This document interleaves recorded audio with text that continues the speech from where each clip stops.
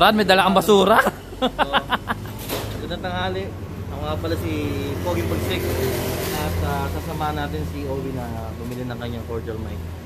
Let's So, go. What are you waiting for? Let's go. Ano Brad, pwede ka mag-vlogger. Ano ngayon? Mauna lang ay maglakad. Si Delcy nga pala kasama ko. Hi. Naghay yung isa. Kung makapansin nyo mga kaibigan, nandito tayo ngayon sa Royal Hotel. Ah, dito kami nakatira, ayan sa taas sa 7-Eleven. Tapos si Owi doon na sa kabilang bangin. Dito tayo. Di ba tayo? Dahil ako yung mauna. Diyan kayo sa likod. Sige. Bakit mo makita masagasakan ng bus? Hindi ah. Yan, makikita, makikita nyo wala pa rin mga tao. Konti pa rin yung mga guest ng mga hotel. Tapos, bali ako naka-annual leave ako ngayon, tapos si Owi day off. So, dito yung way. Papunta dun sa sikat na bilihan ng mga computer set, computer parts, at mga computer accessories sa Macau. Yun na yung Fortune Tower. So, doon tayo hanap ng mic para sa pagka-vlog ni Owen. Ba parang malayo ako? Hindi, tama lang. Tama lang, o tama lang daw. Ano naman sabi mo, Owen? Masaya. Na kasama mo ako ngayon. Tangin na malaki ang TF ko, pre. Baka wala ka pang ano sa akin, pang budget. Pang McDo lang, meron Brad. pre, ah, magkano budget mo? Baka konti lang yan. Ayan, at nagpa-park. Nakikita nyo ang parking dito. Isang pihit lang, pasok agad. Kaya sila kalupit ng drive. Isang pina lang, pasok agad. Hindi kaya sa atin, mapupupuda yung likuran mo bago ka makapag-park. So ito, nandito na tayo sa sa Robert Hotu. Brad, pwede pwede ka mag-vlog talaga. Eh, na, pwede ba mag-vlog? Oo. Vlog na ginagawa natin eh. Tanga ka dati. Ano, magkano kayong Pag kar... diretso mo to, ito yung sikat na ano, ah... amusement park. Hindi, hindi. Paano ba yun? Ah... hindi ko maano kung paano sasabihin eh. Basta dyan nag-jogging yung mga tao. Kasi isa siyang parang maliit na bundok na paikot na doon sila tumatakbo. May mga ano rin, equipment pang exercise. Boom! At tinapon na natin ang ating basura. Ayan, makikita yung mga motor dito. Makita mo tol yung mga motor ko paano sila mag-park. Yan lang sila mag-park. Kaya usually ang mga motor dito, tabi-tabi at saka puro pangit. Kasi sa hirap nga ng parking nila, wala silang ano. Baga sabi nga nila mas mahal daw yung parking kaysa sa ano, sa bahay dito. Tapos ito, ito yung swimming pool. Kaya lang, sarado siya ngayon gawa ng merong abiso. May coronavirus. Ayan. Ito yung school. Ito yung tinatawag nilang Uetwa College. Ang laki di ba ang taas? Okay ka lang tol, di ka ba nangangawit? Wala problema, magat lang to Brad. Sabi mo pa nangangawit ka na, palit naman tayo. Ikaw naman ang dumaldal dito, ako naman nangahawak niyan. Wala akong sasabihin Brad. Ayan yung pool oh. Pwede tayo mag-swimming dyan Brad.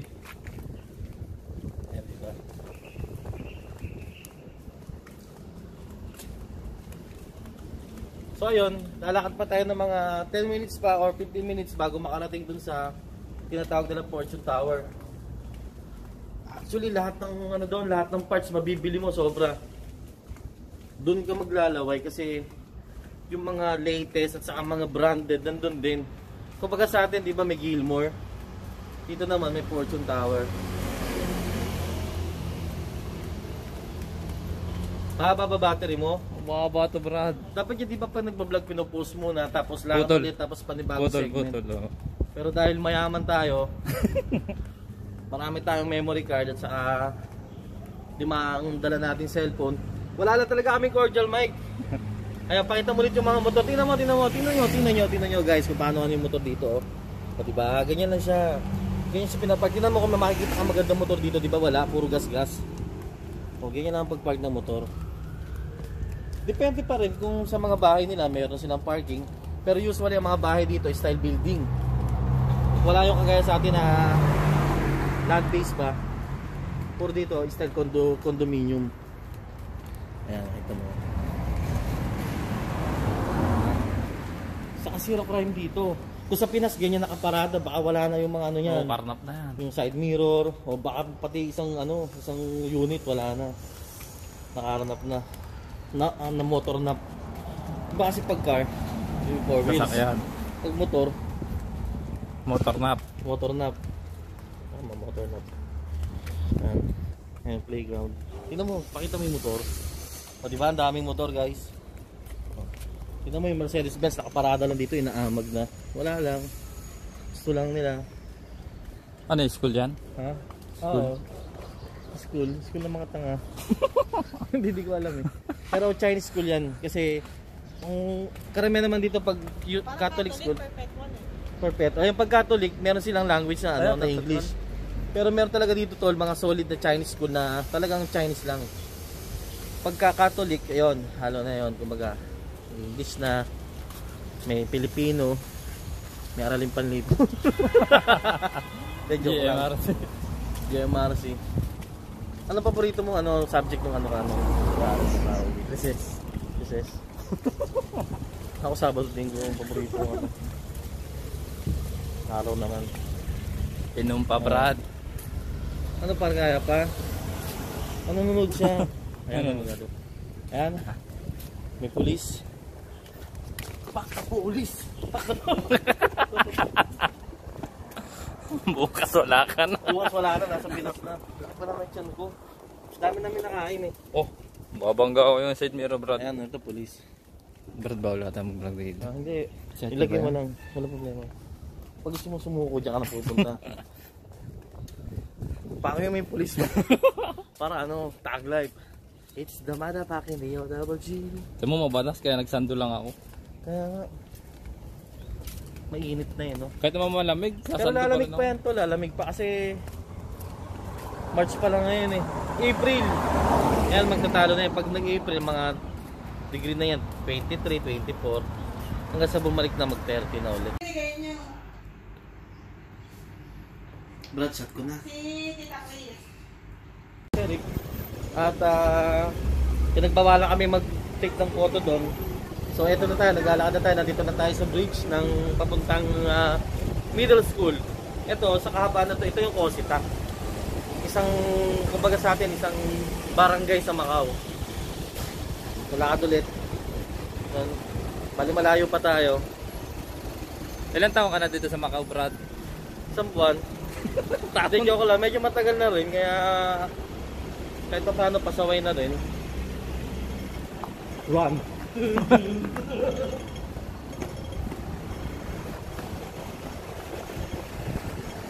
Eh pag sasakay kayo ng cable car, may cable car doon sa sinabi ko kanina, yung pinag ah, ano nila exercisean. Diyan kayo pupunta. Nakita mo, nakita nila. Pero tayo pupunta dito tayo. Sabi ko lang pag may sasakay na cable car, ayan makikita yung daan, di ba? Kung ganyan mga bus dito, hindi ka na maliligaw.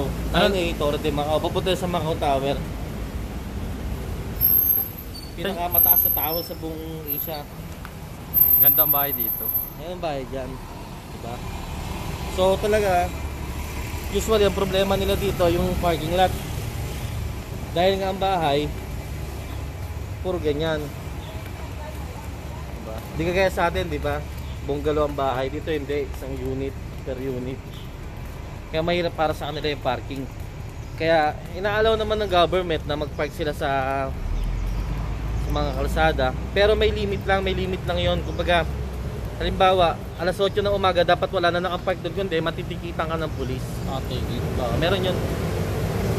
Halimbawa, hindi mo pa rin kinuha, ilalak yung ano mo, ilalak yung sakyan mo, yung sa gulong, ano binilalagay doon? Tag dito? Ikaklamp. O, ikaklamp, ikaklamp nila. May clamp ba dito? Ha? Meron, meron may clamp dito. Matindi nga yung clamp dito kaysa sa atin kasi mas maganda yung clamp nila dito. Pero hindi ko minamalit yung Pilipinas sa Kumbaga, ang ganda na kaya ng Pilipinas na yun.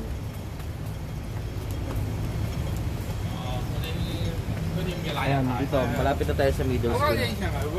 Pagdating natin ng middle school, Actually, pwede na kata kumanan yun. Eh. Pagka tayo sa bus stop.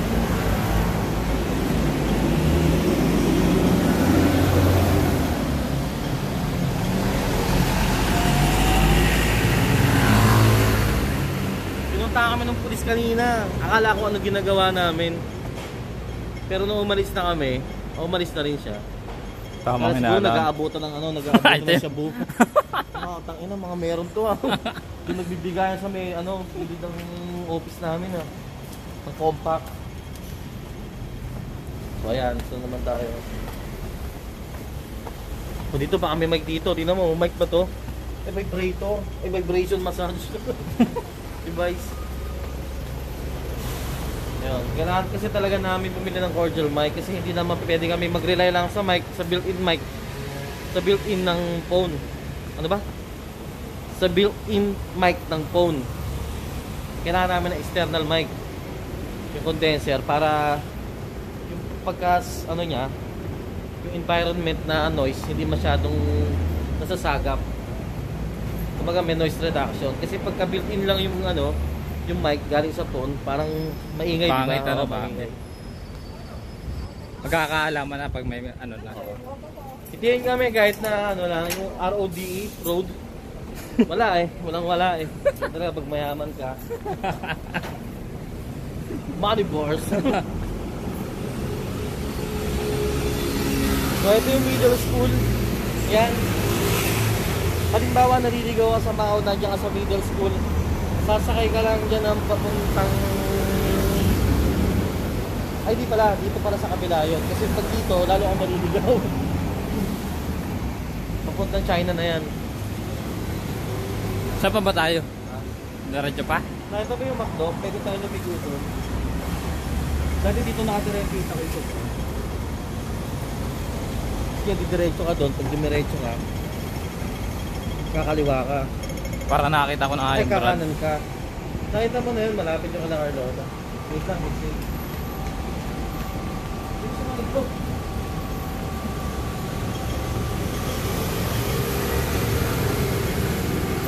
Bibili ko sana yung lola ko eh. Yan ang mainit na sa Pinas.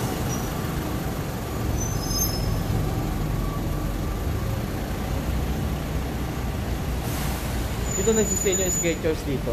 Dapat pala nagsasabay tayo ng Teo, paano? Oh, para pag uh, may ganito pagkakataon, di ba? Dito, dito, yung Skechers, Skechers. Minsan, 500 MOP makakapili ka ng dalawa. Kagaya nyo, no, ang dami nilang stocks. Oo, ano? Di ba? Super sale sila. Oh. Pero hindi yan, hindi yan yung pake namin. Ang pake talaga namin yung cordial mic dito sa may Fortune Tower. Kaya wala akong pake dyan muna. Tabletas muna, ano? Muna yan. Teka lang. Binigay niyo Brad, shot ko na. si Tita Chris. Okay, okay. Hindi, nag, nag, nag-electric pa lang sila.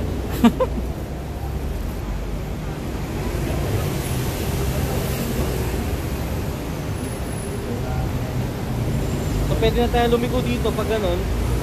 Pero mas maganda rito, madami dumadaan para ma-enjoy natin, di ba? Ayan. Macdo. Alam nyo guys, kakaiba yung McDo dito sa Macau kaysa sa McDo sa Pinas. Ano ko lang yung ano yung different nila. Dito walang kanin, walang rice. Hindi kaya di ba sa ano sa McDo, may chicken with rice. Oo. Dito wala ditong rice. Mahilig sila sa burger. Uh, rice, burger, saka chicken lang. Walang rice. Wala ring spag. Actually walang spag, di ba? Wala wala walang spag. Oh, walang spag. Sa Jollibee lang mayroon. Jollibee lang. Pero may Jollibee na din dito eh. Kaya lang hindi naman ganun ka ano. Ka hindi man ganun dinudumog ng tao. Hindi masyado kilala. Pero may tao. Siyempre ano yun eh. Filipino product yun. May marami Pilipino dito. Siguro kung may mga 10,000 nandito na Pilipino meron. Kaya pag magpapakabit ka ng cable dyan ka pupunta. Bubble tea. Bubble, bubble, bubble tea. Sorry tayo.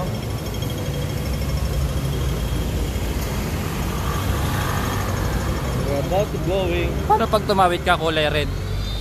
Pwede naman, kaya lang pag nakita ka ng ano, ng officer, so titikitan ka, 600 MOP din yun. Magkano So, sa, magkano yun sa Pinas? About 3,000, Oh 3,000 plus. So kaysa magpatigit ka, sumunod ka na lang kasi mapapaya ka din eh. Bukod sa titikitan kasi, sigawan ka pa nila. Eh ang mga Chinese masigaw yan. So gano'n lang ba sumunod ka maghintay, di ba? Di ba tayo nagmamadali eh. Sabi nga eh, kailangan disiplinado ka din minsan.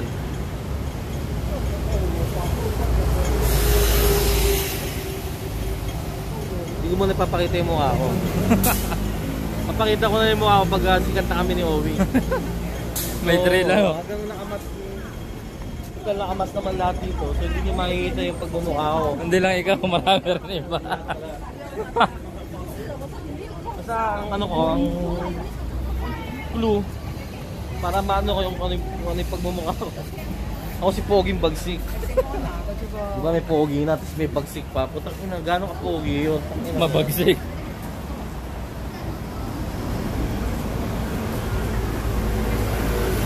So, may extra si ate. may, may extra sa likod. Daming tao, Brad. Siyempre, basta yan. Basta pa to. maraming tao dyan. Ano na hapon, yung iba nag-uwi na. Umilag si ate. Ah, umilag. Umilag ka ate, di mo alam ma mapapanood dito sa ano sa buong mundo to. Pag nilagay ito sa YouTube, kikita na si Owi. Wala pang ang bank account. Basta tol, tatanungin kita ulit. Magkano budget mo? Pang McDo lang. Mahal DM ko. Siyempre, di naman ganun kadaling magpaliwanag. Nagmistulang tour guide ako dito. Oo nga, Brad. Di ganun kadaling magsalita. Nagugutom na nga ako eh. Kakain tayo mamaya akong bahala. Okay. Minom na lang tayo. Mamaya inom kami ni Ovi. Papali pa rin namin yung kanyang drone. Nakita nyo na yung drone niya. Pag nakita nyo yung drone niya, pare, grabe. Masasabi ko lang, lupit. Limang letra. Hindi, baka may ese dito. Tingnan din natin sila, baka magwala na. Magandang hapon. Magandang hapon, kuya. Hindi, natingin-tingin lang kami. Cordial Mike. Wala daw. Hi ka muna, kuya. Hi. Kumusta? Anong pangalan mo, kuya? Justin. Justin. Sakay sa Pinas. Quezon City. Okay sa Siri. Subscribe ko, kuya, sa Lausaw. Sa Lausaw. Sa YouTube. Ah, Binigay niyo. Brad, shot ko na. Si Tita Chris. Dito na kami ngayon sa Fortune Tower sa bilihan ng mga computer set at computer parts, accessories. So kanina kasi naligo kami, medyo 3 years na rin ako hindi napunta dito at saka sobrang busy. Nakalimutan ko yung daan. So tara, pasok tayo.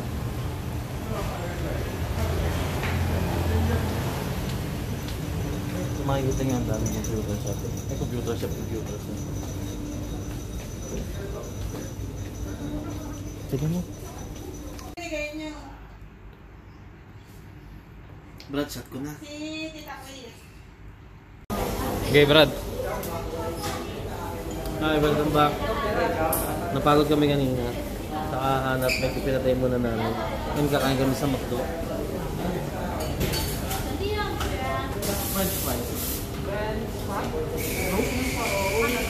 Ha? No? Okay, ah, nagkaroon na ng konting commotion dito pero wala naman nangyari, wala nasugatan, wala nasaktan, walang naging duguan. Bali nagkamali lang sila ng ano, ng punch. Ang nalagay nila a la carte which is walang walang walang price pero may drinks at saka burger. Kasi kung a la carte lang 'yon, burger lang, walang drinks saka price. So error nila 'yon. Kaya ito, bi- binoboid nila. Tama ba Boyd? Pagka nagkamali. Ay, Team? Boyd. Okay, Team Boyd. So ready na kami dito. Tingnan mo na. Silipin niyo muna kung gaano kaganda yung McDo dito sa mga Maganda yung McDo dito.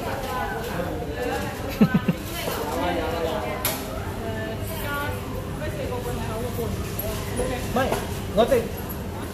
We order three sets, right?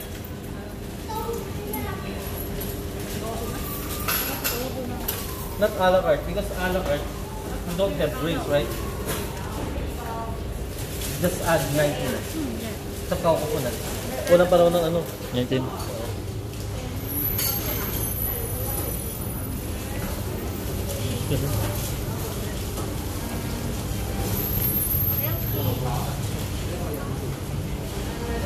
Baka gawa ng malaki lang to.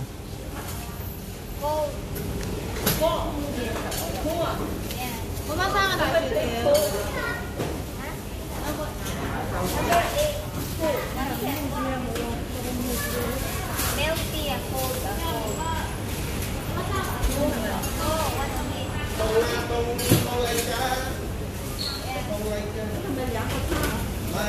So ito na yung sukli. Konti na lang, sisigaw na ako.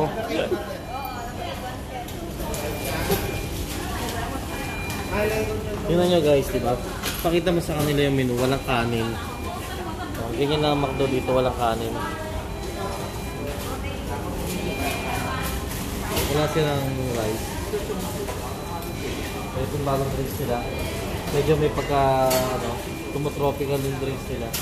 So, wait lang tayo sa price. Ganyan, sabi ko kanina, nagkaroon ng konting error. Pero, ganoon talaga, syempre, pag pagod ka na, minsan, natatanga ka na. So, ayan na.